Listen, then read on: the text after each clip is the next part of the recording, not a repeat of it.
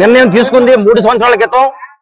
అప్పటి నుంచి కూడా పెద్ద ఎత్తున మరి ఉక్కు కార్మికులు యూనియన్లు కానీ ప్రజా సంఘాలు కానీ రాష్ట్ర వ్యాప్తంగా పెద్ద ఉద్యమం జరుగుతున్నప్పుడు కూడా కేంద్ర ప్రభుత్వం ఇంకా నిర్ణయం వెనక తీసుకోపోగా ఈ స్టీల్ ప్లాంట్ గత రెండు సంవత్సరాల నుంచి కూడా రా మెటీరియల్ ఇవ్వకుండా వర్కింగ్ క్యాపిటల్ ఇవ్వకుండా రైల్వే రేక్స్ ఇవ్వకుండా బాయిలర్ కోల్ ఇవ్వకుండా కోకింగ్ కోల్ ఇవ్వకుండా మొత్తం ఆపేసి కంపెనీ నష్టాలు పోవాలి చేసి అమ్మాలని ప్రయత్నం చేస్తుంది.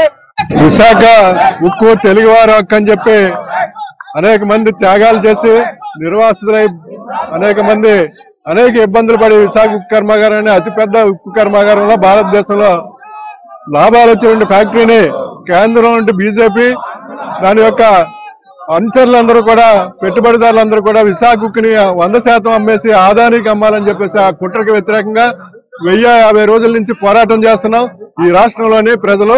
అందరూ పోరాటం చేస్తున్నాం. మూడు సంవత్సరాల నుంచి ఉద్యమం జరుగుతూ ఉంటే ఢిల్లీ పెద్దలు దొడ్డిదారిన విశాఖ ఉక్కుని ప్రైవేటీకరణ చేయడానికి సహకరించలేని పరిస్థితిని తెలుగు ప్రజలు పోరాటాల ద్వారా చూపించారు.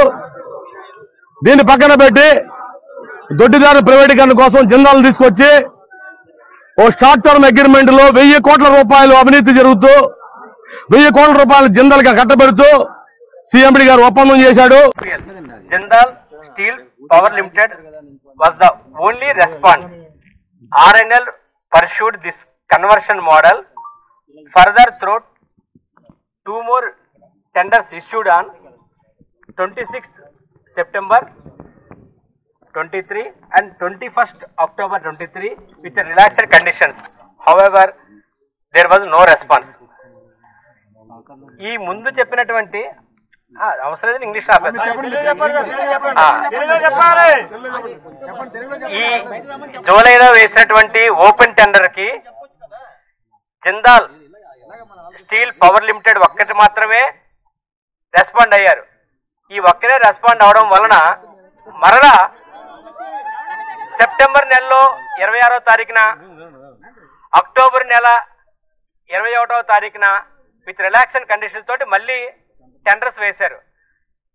వీరు తప్ప మళ్ళీ ఎవరో కూడా రాలేదు.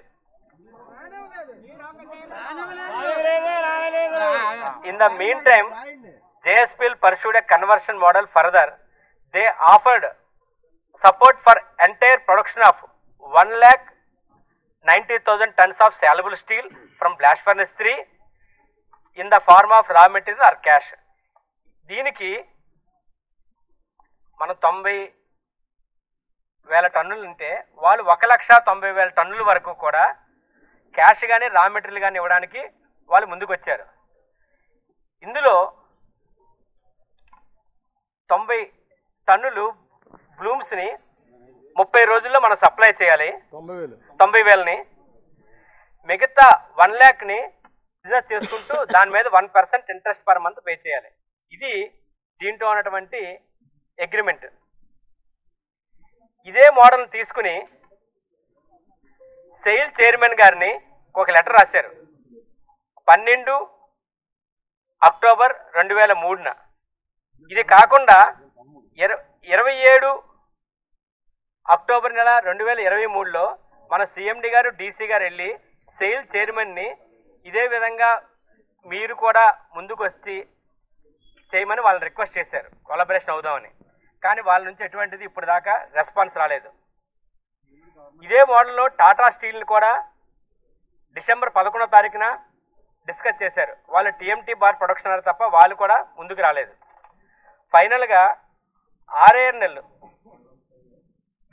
ఈ యొక్క అగ్రిమెంట్ ద్వారా ఐదు వందల కోట్లు పర్ మంత్ బిజినెస్ ఎక్స్ట్రా చేస్తూ యాభై నుంచి వంద కోట్ల వరకు బెనిఫిట్ పొందుతుంది. సో ఇది దీని యొక్క క్రక్స్ ఇది ఇంకా డీటెయిల్ కావలసిన వారు ప్యూర్ రిప్రజెంటేటివ్స్ తోటి వస్తే మేనేజ్మెంట్ వారికి డీటెయిల్గా ఎక్స్ప్లెయిన్ చేయడం జరుగుతుంది. Thank you sir Sanjay Rao వచ్చి అగ్రిమెంట్ కాపీ చదువుతాడు ఆయన. ఇదే కాపీ ఆల్రెడీ మాకు చెప్పడం జరిగింది పోరాట కమిటీకి చెప్పా. ఈ ఏదైతే మీరు జిందాలతో చేసుకున్న ఒప్పందాన్ని రద్దు చేసుకునే సెయిల్తో చేయాలని చెప్పి చెప్పడం జరిగింది. లేకపోతే దీన్ని సెయిల్ విలీనం చేయాలని అని చెప్పింది.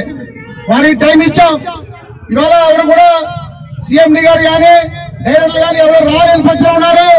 వాళ్ళకి రేపు ముప్పై తారీఖు కల్లా ఆ అగ్రిమెంట్ రద్దు చేసుకోకపోతే ఇక్కడ మనందరం కూడా కుటుంబ సభ్యులతో వచ్చి ఇక్కడ కూర్చునే పరిస్థితులు రావాలి అది వస్తుంది.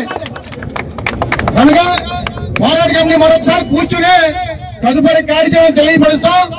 రేపు ముప్పై తారీఖు లోపుగానే వారు ఈ జెండాలు దోసుకునే అగ్రిమెంట్ని క్యాన్సిల్ చేసుకుని శైలితో అమలు చేయకపోయిన పక్షంలో మొత్తం మన పోరాట కమిటీ ఇచ్చిన పిలుపు మేరకు మన ఉద్యోగులు గాని కాంట్రాక్ట్ కార్మికులు గాని నిర్వాసితులు గాని అందరూ కూడా కుటుంబ సభ్యులతో వచ్చి దీన్ని ముట్టడిస్తామని చెప్పాలి. హెచ్చరించడం జరిగింది. మన పోరాట కమిటీకి సంఘీభావంగా విశాఖపట్నం జీవీఎంసీ దగ్గర వాళ్ళు టెంట్ నడుపుతున్నారు. మనంతా ఉద్యోగులమే లేదా కాంట్రాక్ట్ కార్మికులమే ఏదో నాలుగు డబ్బులు ఉంటాయి మనకి. కానీ ఏ డబ్బులు లేకుండా ముఠా కార్మికులు అంగన్వాడీ ఆశ తోపుడు పల్లెలు కూడా అక్కడ కూర్చున్న పరిస్థితి ఉంది గత వెయ్యి రోజులు బట్టి అది రేపటికి వెయ్యి రోజులు పూర్తవుతుంది వాళ్ళ టెంట్. కనుక దయచేసి అందరూ కూడా పోరాడి కమిటీ పిలిపించింది. రేపు ఉదయం తొమ్మిది గంటలకల్లా అందరూ పళ్ళేసి గొడపాలు వస్తే ర్యాలీగా మన తోటి వెళ్ళాలి.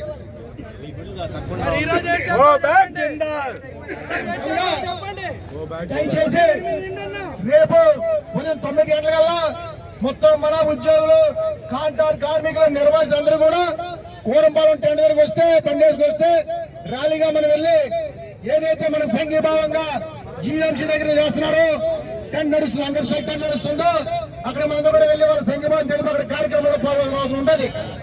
కనుక దయచేసి సభ్యులందరూ కూడా Don't forget to like, subscribe and share the videos.